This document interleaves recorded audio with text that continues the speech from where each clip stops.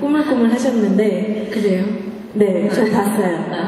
약간 지금 여기 이제 사람들이 많이 계시다 보니까 많은 분들이 좀 부끄러워하고 계신 것 같아요.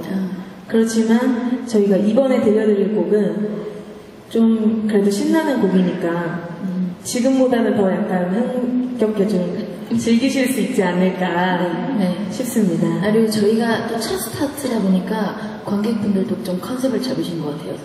부끄러움, 쑥스러움. 아, 이제 근데 이제 샤이 전개 과정이 있잖아요. 그쵸. 아마 마지막 순서 때는 다들 아주 그냥 하실 거예요.